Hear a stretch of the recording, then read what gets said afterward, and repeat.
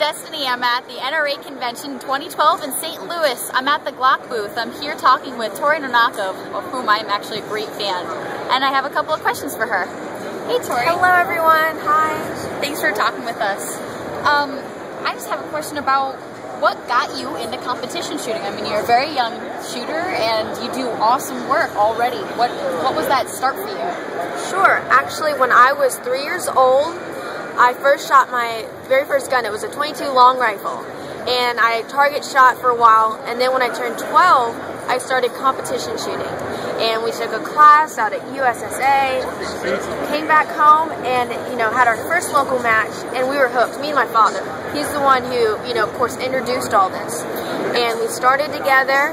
We continued to go to bigger matches from there and really get involved in the sport, which was great and I've been enjoying loving it and doing it ever since. That's awesome. So as a female firearms enthusiast and shooter, do you ever think about how you're kind of paving the way for others? Is that kind of what do you, how do you feel about how you know people like me, newer shooters, look up to you? Sure. Um, for me, being able to inspire new shooters or ladies to become more involved with the sport I, am so honored to be able to do that.